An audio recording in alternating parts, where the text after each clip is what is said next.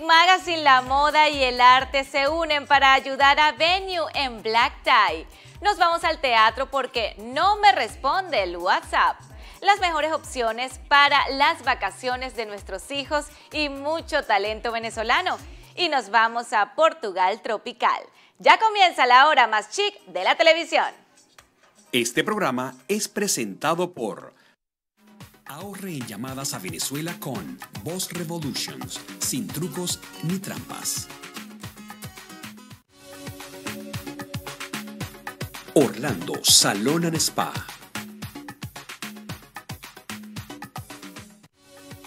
Julián Chan viste a Laura Estrada. El calzado de Laura Estrada es cortesía de Maker Shoes.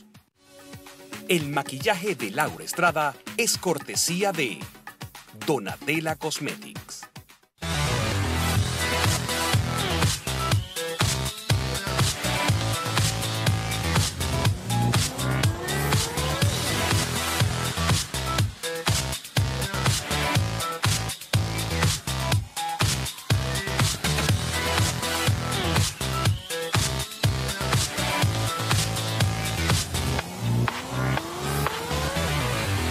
Amigos, bienvenidos a Chic Magazine Miami. Yo soy Laura Estrada. ¿Cómo están? Me encanta que estén siempre en la sintonía de las pantallas de El Venezolano TV. Vamos a comenzar con algunas notas de actualidad del programa de hoy martes. No hay nada peor que una mujer despechada. La mujer que vemos en la foto fue al velatorio de su exnovio. Se apoyó sobre el féretro y comenzó a reírse. A los pocos segundos agregó, ojalá puedas descansar tranquilo.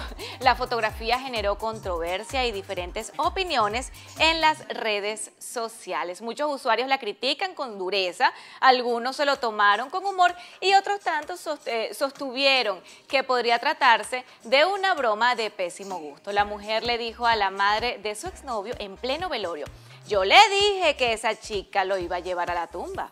¿Qué les parece? ¡Qué horror! Bueno, una mujer de 34 años despertó tras 16 días en coma al escuchar un emotivo mensaje de su hijo de 6 años. Daniel Barley quedó en coma después de sufrir un accidente tras perder el control de su carro un día lluvioso. Además de quedar en coma, la mujer perdió su brazo derecho. Los médicos veían casi imposible su recuperación, pero algo inesperado sucedió. Tras 16 días en coma, Daniel despertó gracias al emotivo mensaje de su hijo. El pequeño Ethan, de 6 años, no podía acudir al hospital a visitar a su madre, por lo que sus abuelos lo prepararon para lo peor. Cuando él les preguntaba si su madre iba a morir, ellos le respondían que no sabían. En cada visita que los padres de Daniel hacían al hospital, le ponían un mensaje que había grabado su hijito una y otra vez. Mamá, soy yo, estoy con la abuela y estoy bien. Tú solo haz lo que tus médicos digan para que puedas mejorar y despertar pronto. Te quiero, mami. Este era el mensaje que le ponían a la mujer y además le contaban todo lo que hacía Ethan durante el día y en la escuela hasta que un buen día ella despertó. Todavía estoy viva y solo agradezco a Dios que Ethan no viniera en el coche. La gente me pregunta cómo puedo afrontar la situación, pero no tengo otra opción que seguir adelante. Fueron las palabras de Daniel, quien unos meses después volvió a trabajo y puso en marcha su propio espacio en internet donde pide apoyo para conseguir financiamiento para unas prótesis. De verdad que una historia preciosísima.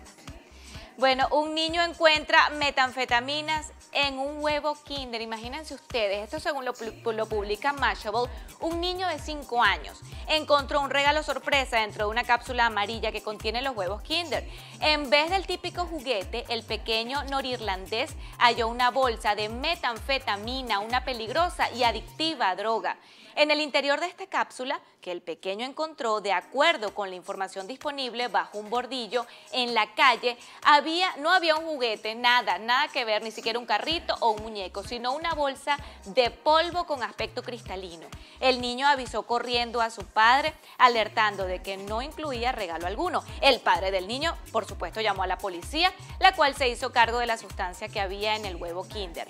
Los análisis de los agentes antidrogas determinaron que se trataba supuestamente de metanfetaminas, la droga, que, la droga de diseño que han popularizado en la serie de televisión Breaking Bad.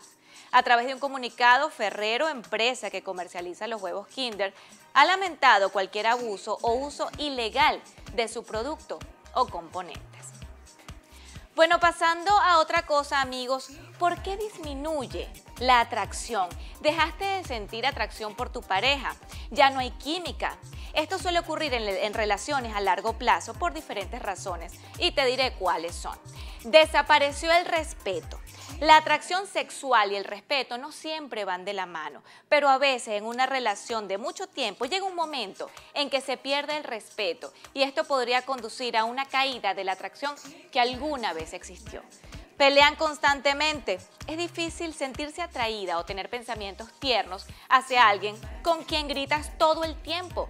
Cuando las peleas se filtran en una relación, la frecuencia de las relaciones sexuales disminuye y lo mismo ocurre con la atracción sexual. Guardas resentimiento. Si tienes algún tipo de resentimiento contra tu pareja por algo que hizo en el pasado, ¿cómo esperas estar atraída por él?